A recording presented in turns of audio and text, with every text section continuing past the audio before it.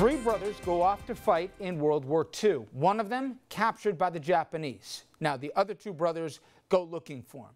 If it sounds like a movie, it also sounds a lot like the plot of Saving Private Ryan. Turns out it's not. It's all true. And all the brothers, they come from New Jersey.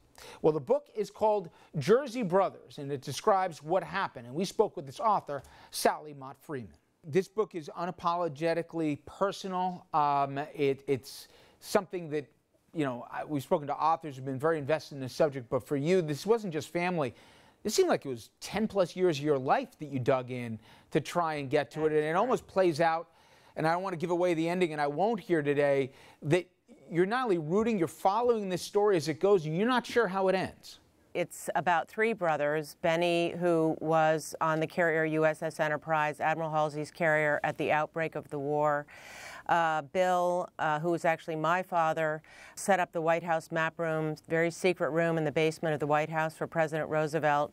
And the youngest, uh, the third and youngest brother, Barton, was a Navy Supply Corps officer, a commission I think that the older brothers thought would be safe for him, but the Navy had other plans and sent him to the Philippines, and he was almost immediately wounded and listed as missing in action. And it's really a story about the search for this youngest brother by the older two it's interesting because not far from where we are is uh, the FDR library. And they've done a oh, recreation yes. of sorts of that map room. And when yes. reading the story, and I guess it was more than, I mean, he was one of FDR's closest confidants, the way the room was set up. And, and it was yes. obviously where you saw how the map of both in the, the Pacific and obviously uh, in the Atlantic and how the war campaigns were going he was integral to this, but he also, your father, was trying to get himself in the Pacific Theater as well to find his brother. Isn't that right?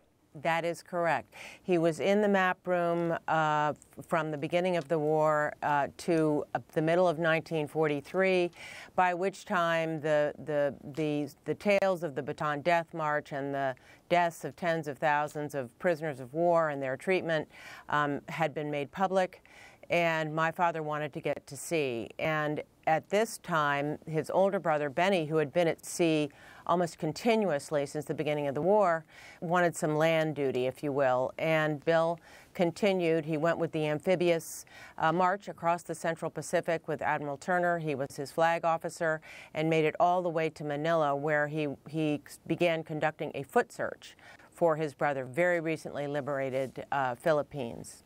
Your father and both his um, brothers distinguished themselves in service. And Barton, and, and, and, as you've learned through eyewitness accounts and through the letters, um, first in the death marches, uh, it was explained that while it can be as dispiriting as anything here and people would die or just collapse because they couldn't go any further, he apparently was filled with a rage um, and an anger uh, that actually fueled him to persevere. Yes, uh, a rage and an anger, but also, I, I think ironically, that Barton maybe felt set free as a prisoner because he was beyond the tether of this um, family that was always trying to finish his every sentence and help him and facilitate his every move. And in prison camp, he really became a leader. He became uh, a, a, leader in morale. He was he helped create music in camp. He was quite the joke teller. He was also of somewhat smaller stature. He was born prematurely, and and because of that, I mean. God help you if you are a six foot five Texan uh, in prison camp because the Japanese meted out their har harshest treatment to the larger prisoners because they towered over the guards. And that even further demonstrated on what uh, you write about in those hell ships. Um, where oh, uh, yeah. unspeakable humanity happened because there was no food, no water, um, put in conditions and no air, and no air, and somehow maintained honor in that. And then um, we know since they weren't marked as prisoner ships, uh, they were struck by the Allies.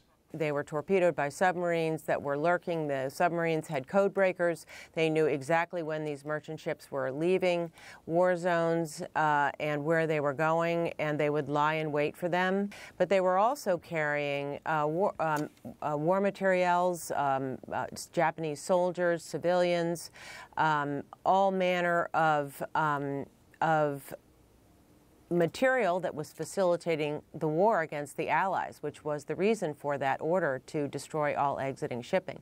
Why they didn't mark those ships uh, is an open question. And I won't give away uh, the fate of Barton, but uh, years ago, uh, Sally, we were privileged enough to go back to Normandy with veterans that were in Omaha and Utah Beach, all coincidentally from New Jersey. And oh, what, wow. Yeah, what really struck me was cool. How many of their stories they hadn't shared with their family. Um, oh, yes. And that they would only share it with, in effect, the band of brothers. Um, and they were kind enough to let us in uh, to that world, and they were honorably celebrated by the French uh, when we were there. And it was a chapter of their life that I'd like to think, at least, that they were recognized. Um, this was in the immediate aftermath of, um, of Saving Private Ryan. Um, but my point is, did you find when tracking down the letters and talking to survivors that this was the proudest and the greatest generation, but it took a lot for them to open up and share some of the uh, proud memories, but yet painful ones. Yes, um, I, I, spoke with a number of veterans in each of the venues. Uh, so. Uh, um, wartime colleagues of Benny on the USS Enterprise, wartime colleagues of my father. My father's in the White House and also with the amphibious fleet with Admiral Turner, and also wartime colleagues of Barton's in prison camp. In fact, in 2005, I traveled with a group of former prisoners of war to the Philippines uh, on a trip to commemorate the 60th anniversary of the liberation of Manila. And we went from prison camp to prison camp together on buses.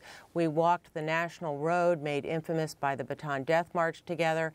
And these men were resilient and they talked non-stop. Hmm. They, I think it was a catharsis for them to tell these stories. Well, it's a remarkable book, um, and um, uh, for folks, and if you think you've heard every version of World War II, um, and there's certainly a lot of books out there, I, I can't tell you enough how you keep turning the pages because even though you think you know how it ends, um, that, that it, has got that kind of a path. So again, the Jersey Brothers, uh, Sally Mott Freeman, thank you so much for the time. I appreciate it. Thank you so much. And up next, we'll take a look at some local headlines. Please stay with us.